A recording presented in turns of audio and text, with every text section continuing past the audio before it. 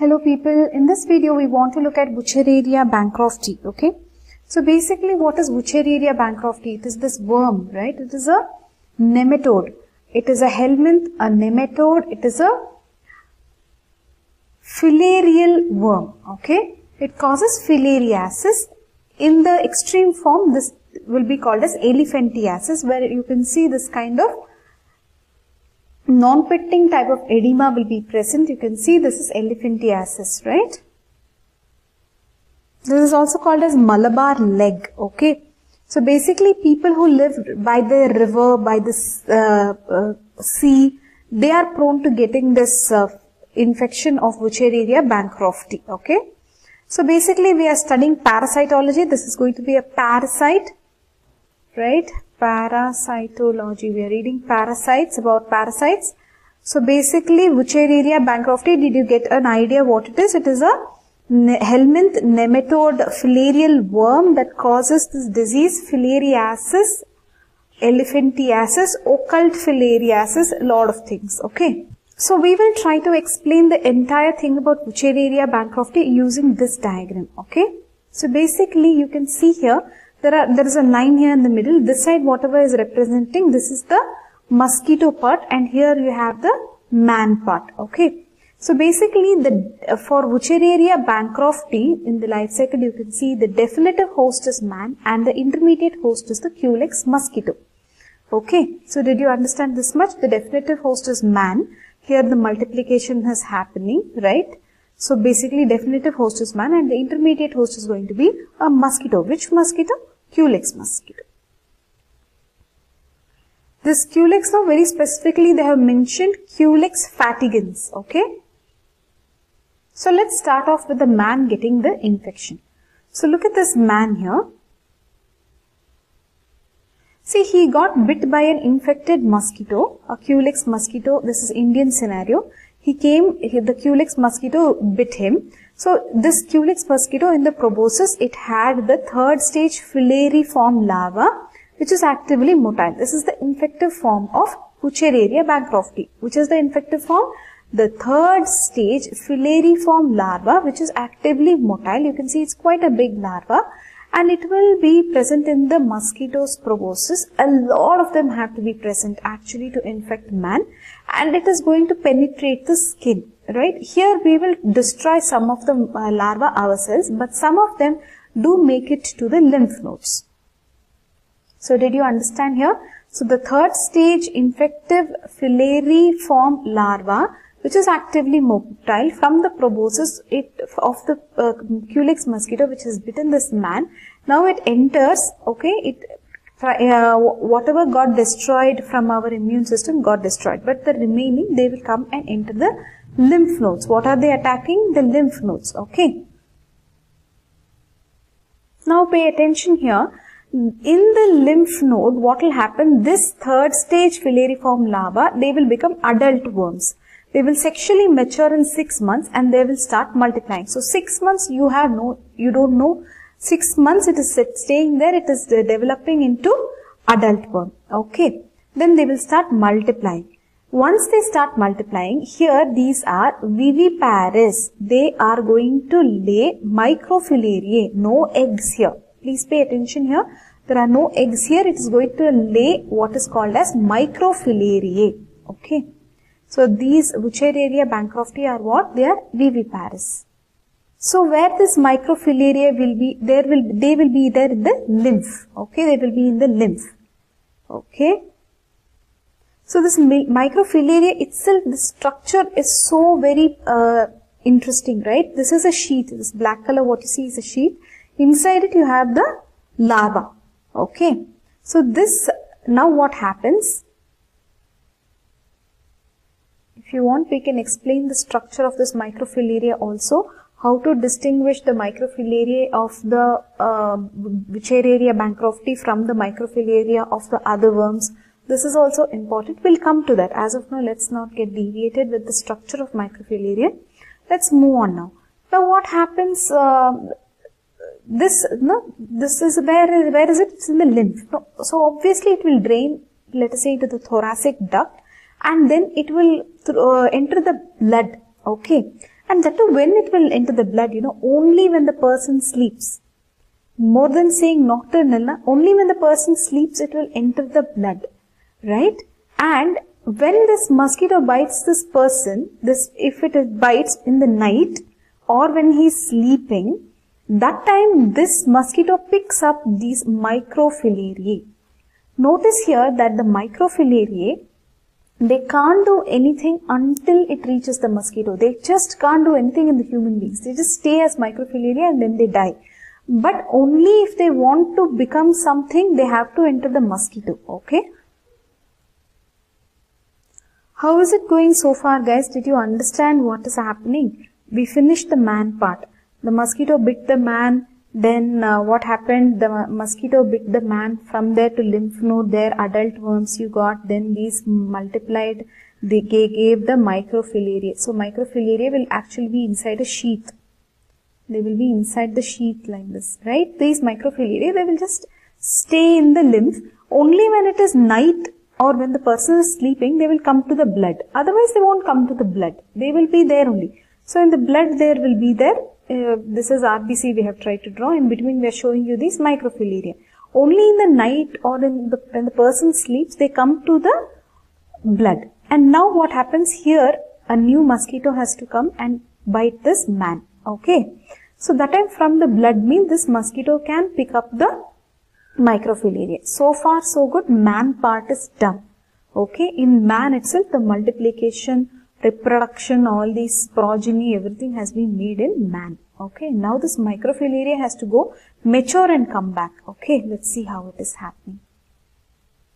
So now let us see what happens in the mosquito. So have you seen so far that what happens in the man? Man we have covered. Now we are moving on to the mosquito which is an intermediate host. That's the Culex mosquito. Now look at this here. We'll try to zoom in here.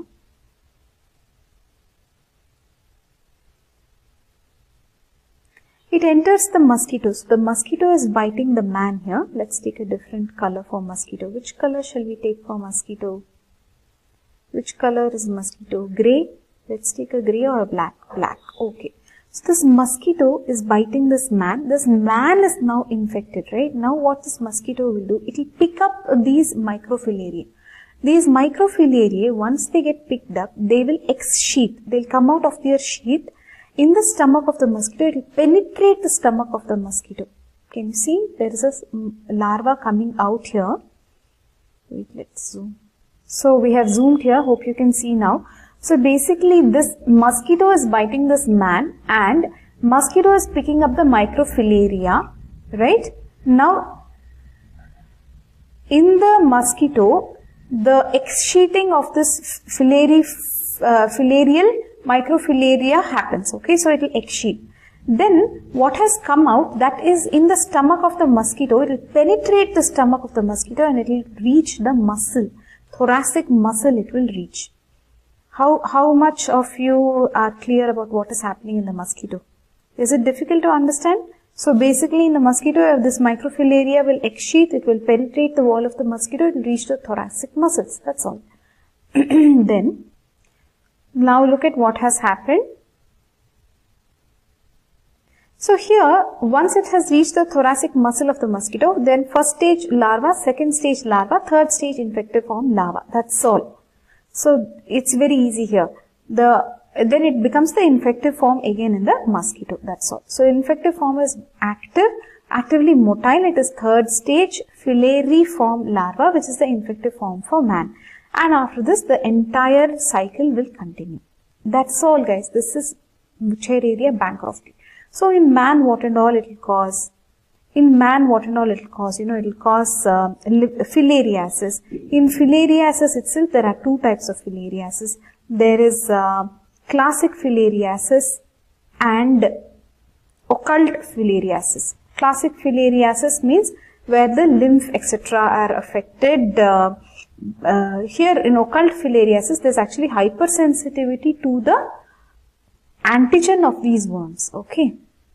So guys, look at what exactly are the clinical manifestations. There can be classic filariasis and occult filariasis. Under classic filariasis, basically you will see acute adenolymphangitis. Okay. So here this is uh, characterized, uh, this is characterized by lymphangitis, lymph adenitis, lymph edema, lymph angiovarix. Okay. So the lymph, lymph, lymph, everything lymph is affected. Okay. So lymphangitis like inflamed lymph vessels. So the lymph vessels, let's say this is a lymph vessel. Let's take a purple here. Lymph. So lymph vessels are inflamed, right? This lymphangitis. Then inflammation of lymph aden uh, lymph node will be lymphadenitis. Lymph node will be inflamed means lymphadenitis. Lymph edema means what? Swellings, right? Basically swellings. So there will be, initially it will be mm, pitting type of edema, then there will be non-pitting edema. Then lymph angiovarix means dilatation of these lymph vessels, okay. So that is lymph angiovarix. All these will happen in classic filariasis. Also there can be hydrocele. Hydrocele means the lymph vessels to the spermatic cord are obstructed so there will be exudation from the inflamed testis and epididymis. Okay. What is lymphorrhagia? So leaking lymph is lymphorrhagia. Okay. So basically let us say from this uh, lymph vessel all the lymph is leaking. It can be either seen in the urine or it can be seen as uh, diarrhea. So there can be chylus, chylous you can say chylus di diarrhea or chylous diarrhea, chylus, chyle urine. So everywhere there is lymph. Okay. Finally, they are talking about elephantiasis. So basically, it is a last thing that they are mentioning is elephantiasis. This is a delayed sequel to repeated lymphangitis, obstruction, lymphedema. This is non-pitting edema. You can see here elephantiasis, right? The swelling in the leg, etc. Probably the name is because it's like an elephant's leg or uh, it is so swollen, it is so big, right? So lastly, we will move on to occult filariasis. What is occult filariasis? Because here in occult filariasis, basically there is um, a reaction, a hypersensitivity reaction to the antigens which these worms carry. Right here, there's, they are not talking about the lymph obstruction by these worms or something like that. This is hypersensitivity to the antigens of these worms. Okay. Main thing that there will be there in this is the eosinophil eosinophilia. So eosinophils will be more. Eosinophilia will be there. IgE, it's an allergic reaction, so hypersensitivity reaction. So IgE, asthmatic cough, asthmatic cough, right? All these are standard things that you will write. Asthmatic wheezing, cough, dyspnea, dyspnea, right? standard things that you will write with any allergic reaction. Okay. So the lymphatic filariasis are absent. So classic features of this lymphatic uh, filariasis are absent. Classic features are absent. Guys, uh, we have to also cover the treatment, right? Treatment is what DEC, diethyl, what is this? Diethyl carbamazine citrate, right? This is the drug of choice for filariasis. Diethyl carbamazine citrate. DEC is the drug of choice for uh, filariasis, remember. We still have a lot to cover like the lab diagnosis we have to cover guys. Lab diagnosis and structure of microfilaria also we want to cover what microfilarias are and how they are different in different worms so those are all very specific to microbiology. You can come back for those videos. What you have seen in this video is very generic. Wuchereria, Bancrofti, the life cycle, uh, things like um, the pathogenesis, etc. So come back for the next video. We will look at this uh, microfilaria of Bancrofti, the structure, etc. Okay. That's all for now guys. See you in the next video. Bye bye.